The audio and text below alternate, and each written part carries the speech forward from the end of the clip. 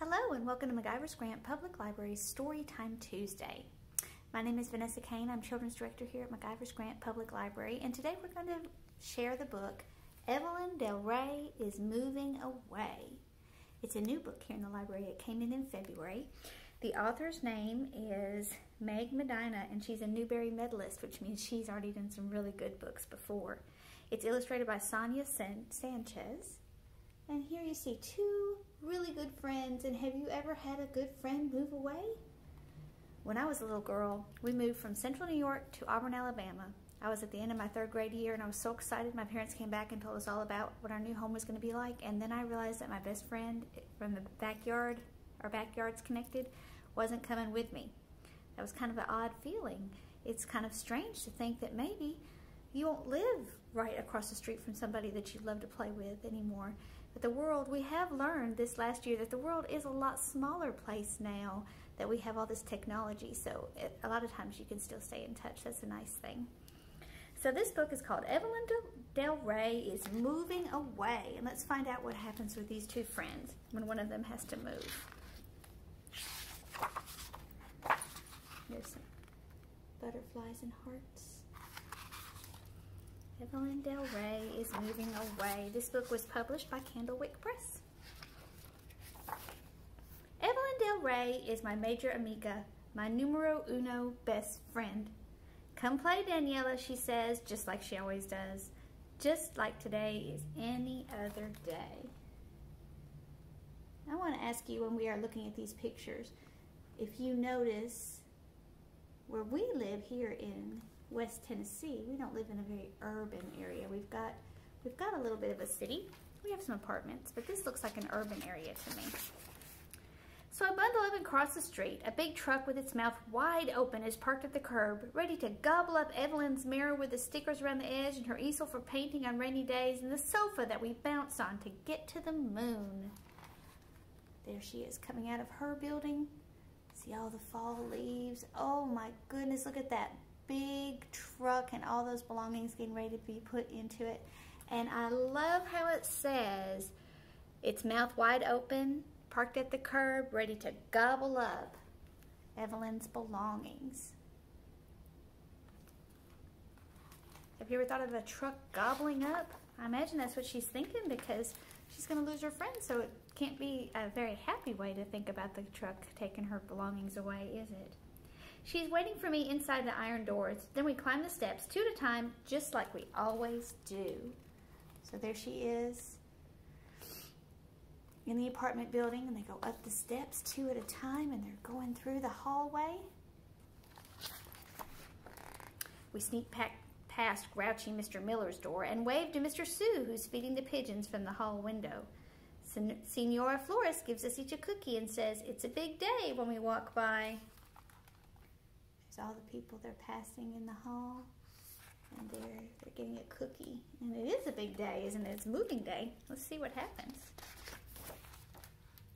Our apartments are almost twins just like us. That's why I already knew all the good places for hide and seek and the spot behind the heater where we keep our special finds. They're packing things up. Do you see those boxes? The apartment's starting to look empty. Looks like her friend is pulling her into her room. But the walls in Evelyn's room are sunny yellow while mine are pink like cotton candy.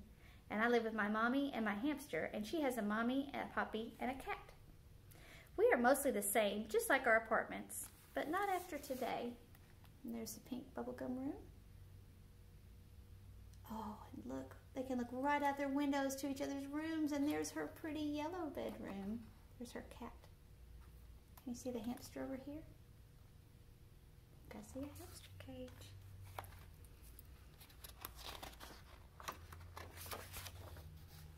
We find a still empty box near the door. In no time, I am a bus driver steering us all over the city. We play until the tables that were bus stops are gone and the beds that were skyscrapers have vanished too.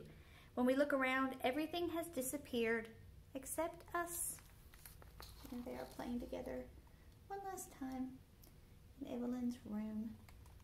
And there they are when they realize that everything else is gone except them.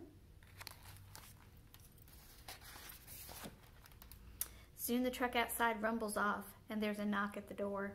Hide, we say, giggling, just like we always do. But our mothers see us before we can slip away. Time to go, Mommy says. There's some mommies. Looks like they're friends too, doesn't it? And there they are, hiding in their box. The last thing in the room. Evelyn and I, and I hold hands in that wide, empty space. We lean back and start to spin in circles, faster and faster until everything is a blur around us. Our fingers slip, but we don't let go until we wobble to the floor. We can talk every day after school, I tell her, though the world is still whirling. And you can come visit me this summer, she says, and spend the night.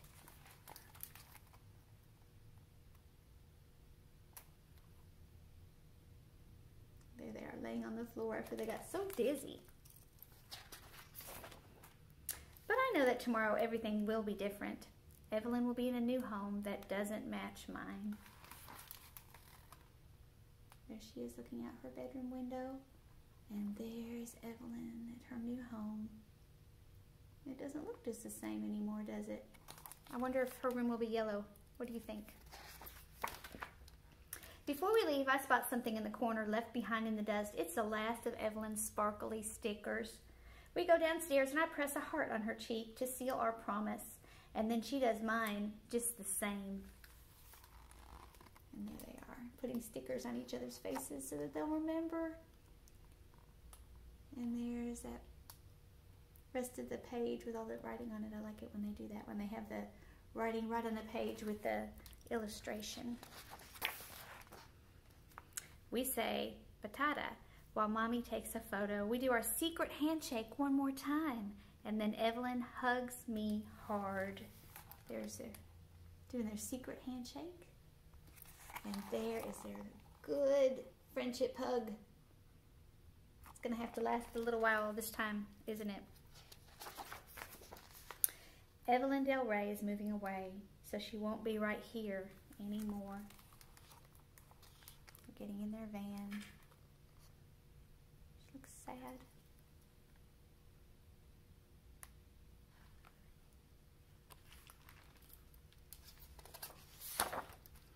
Mommy says not to be sad, that we will both make new friends. But when Evelyn waves one last time, the sticker still on her cheeks, I know she will always be my first mejor amiga my numero uno best friend.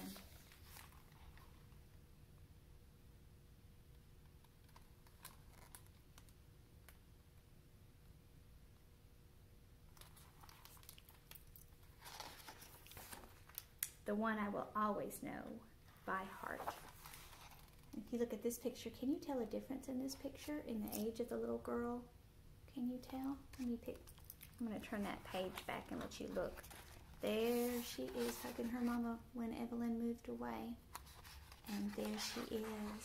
Doesn't she look much older? She's got some letters there.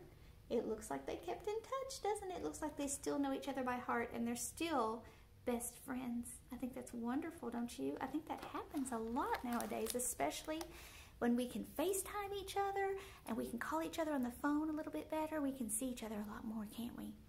You remember that friend I was telling you about that I moved away from in New York? Do you know I'm still friends with her today? It's been a very long time since I moved away from New York, but we are still friends. When I go up there, we get to see each other. If she passes through here, we get to see each other, and we get to keep track of each other because of technology. We get to talk on the phone every once in a while. We get to see each other on Facebook. It's really a wonderful thing, isn't it? So you can celebrate your friendships. Even if your friend has to move away, you can celebrate what, what you got to do together when you lived close, and you can keep that friendship going, can't you? I think that's a wonderful, wonderful lesson from this book. I like this book. Okay, so I'm going to um, hope you have a good week and that you are celebrating your friends, whether they live near or far away, and you have a great time, and I'll see you next week.